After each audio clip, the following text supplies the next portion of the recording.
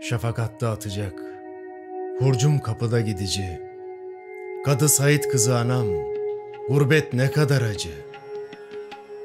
Orhan'ın baba evi. Öptüm ellerini sıcak. Kalbinde Yunan kurşunu mülazım evvel. Taş üstünde taş, baş üstünde baş komamış hayın deprem. Dikili'nin adı var. Manzumenin gerisi yazılmayacak belki Faruk Nafiz Usta'ya saygı gereği. Ama daha o zaman Musullu Hafız Osman dilime pelesenk. Feryat ki feryadıma imdad edecek yok. Efsus ki gamdan beni azat edecek yok.